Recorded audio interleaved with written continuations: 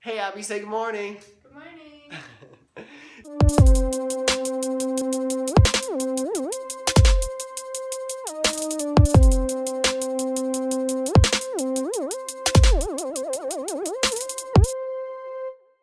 So today is Tuesday. I got a ton of awesome stuff I'm gonna do today. I'm gonna make some posters at church, hang those up, do some study time for service tomorrow night, the Wednesday night top battles that I have every week. Also, I'm gonna be studying for Sunday service. That should be pretty cool too. I love studying the BIBLE. If you haven't already noticed, it's kind of a major habit that I've created. Um, other than that, tonight I'm gonna go to the juvenile detention center. That's the basically the jail for teenagers. I'm just gonna hang out with them since I'm able to. Churches are allowed to go there, so I'm gonna go hang out with them, talk to them about whatever questions they might have about the Bible or about Jesus or about that kind of stuff, and it should be a fun day. So thanks for keeping up.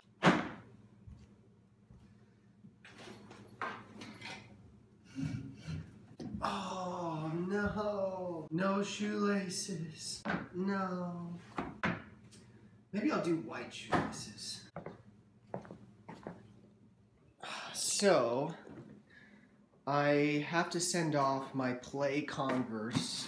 So I'm gonna go ahead and just get some shoelaces to put on these other Converse. I wanna wear these other Converse today. I actually have had these for like 10 years. And look at that.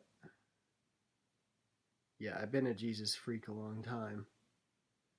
And I even label myself a Jesus freak. These are kind of cool. They have like multiple layers. And like even the tongue has multiple layers. I made them on the Converse website to my specifications when I was 15 or something. And here's some lace. Is that two? Is that only one lace? Yeah, that's that's too laces. Oh, anyway, so I made these on the Converse website. Then I walked away from the computer because I didn't have the money, and my mom went on the computer and just bought them for me, and then gave them to me for like my birthday or something. And it's just amazing. I'm gonna go ahead and rock them today, and I gotta put some shoelaces on. So let's do that.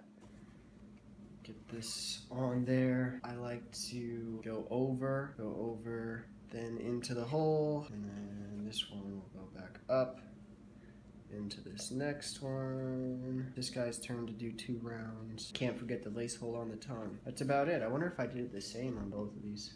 All right, now they're on. You guys can hate on these if you want. I don't even care. I'm gonna rock them because I custom made them as a child. I was all set. Abby is already gonna take my NMDs that sold yesterday. She's gonna take those and drop them off to the UPS guy, or the USPS guy, I should say. So I was just gonna ride the bike, but today now, gotta take the beast, and all these pallets, they need to get trashed. So I think I'll do that this morning too. Find my truck keys, because I don't have those yet. So we'll just go back inside and go get those.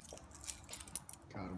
If today goes correctly, then I'll have two pairs of shoes coming in the mail. Pretty exciting. Hopefully they show up today.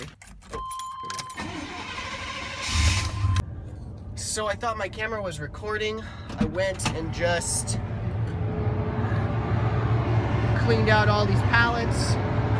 There they are. I was gonna let you watch. There's a lot of background noise going on. So I was gonna let you watch as I emptied out all those pallets, which probably wouldn't have been very interesting. Manual labor, whatever. So that's all good. Now we're gonna go to the church and I'm gonna print off a UPS label. Sorry about the sun, it's crazy bright. So I can ship off those Converse. Still rocking my Converse. My custom Converse. It's so weird when I press the gas pedal, like they open up and you see more of the splashes of color instead of the blue. I'm okay with black. I can deal with that. There's no traffic in Montana, really. If we're being honest. Yeah, there's cars. There are vehicles here, but like traffic, like only thing traffic is stoplight. Man, dude, traffic is so bad. We're backed up. There's a green light. I've Been waiting forever. Come on, people. Oh, now it's going. And we made it to the UPS store. And I still have a few minutes left to get back to work. And not be late.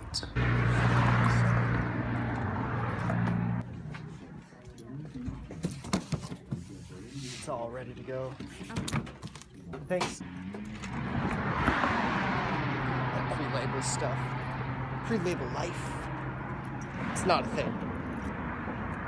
Not even. Oh man, traffic is so bad. We're backed up like crazy. I'm never gonna get to work on time. Oh, light screen. Ready to go. Wow, made it to work five minutes early. Never thought it was possible. Traffic was so bad. Not really.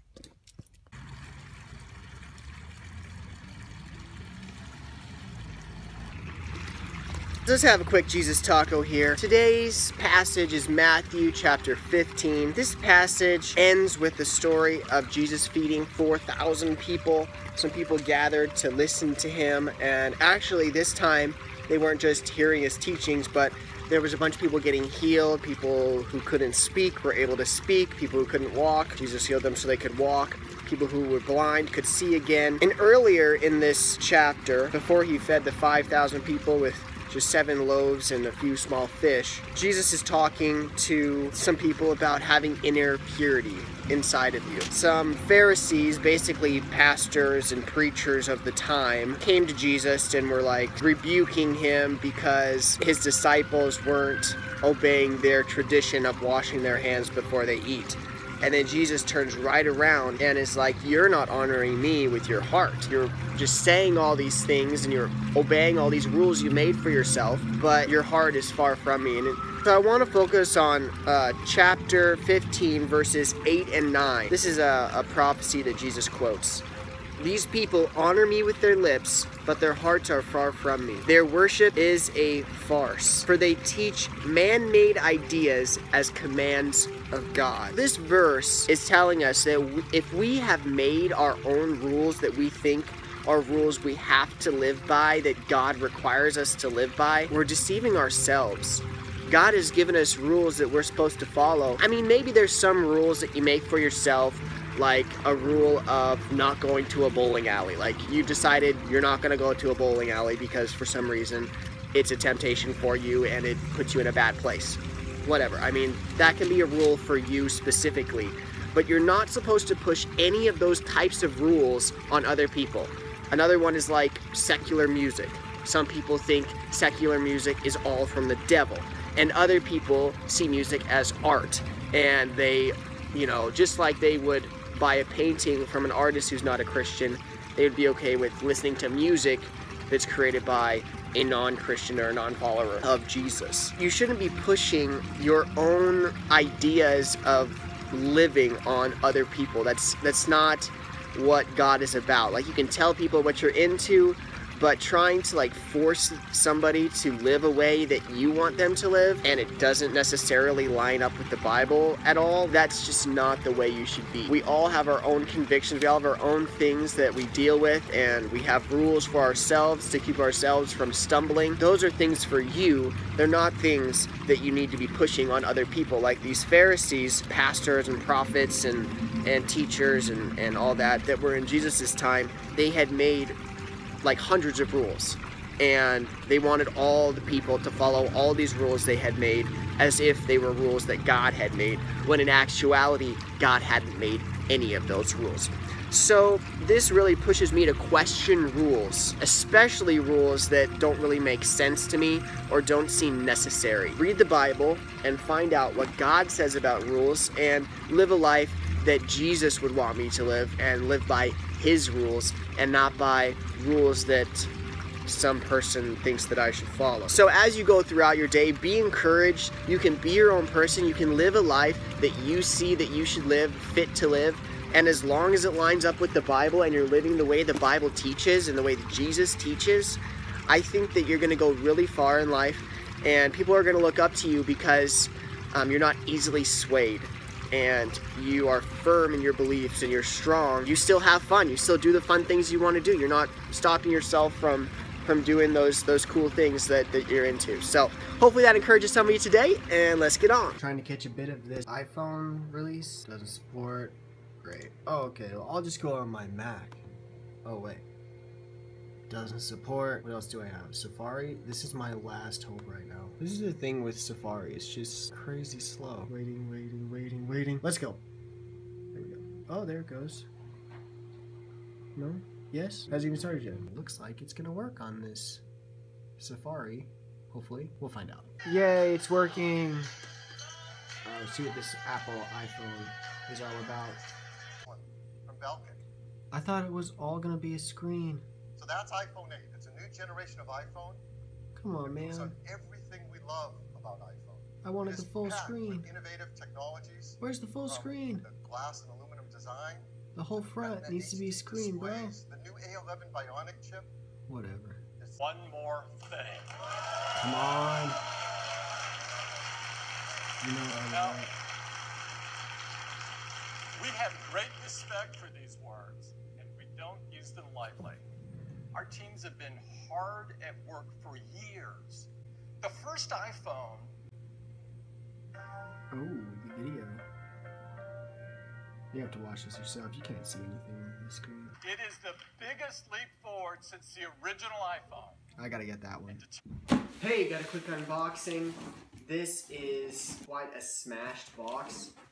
I'm not sure if it was FedEx who ended up smashing this box up. It's probably FedEx. So great job, FedEx, on keeping your boxes in good condition. I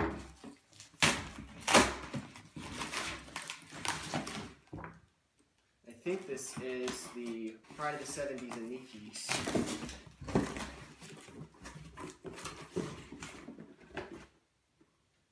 And it is. There's the label there. I've been wanting these shoes for a long time. And I haven't been able to find them in my size for any sort of a decent price. So now I have them. They're really awesome silhouette. I really like the Inikis, and uh, this is probably my favorite color that's come out so far. And I am really excited.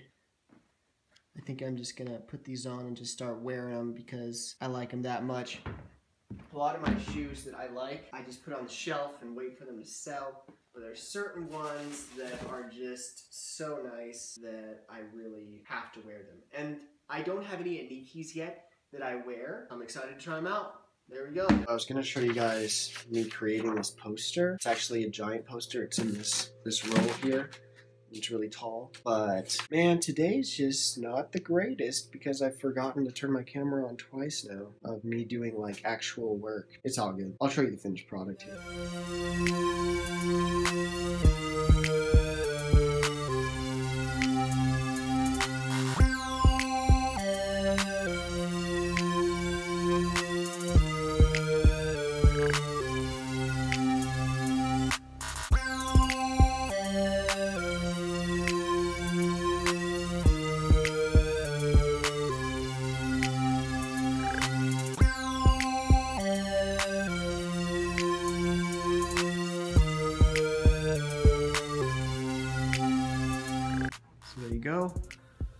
Both signs turned out pretty nice.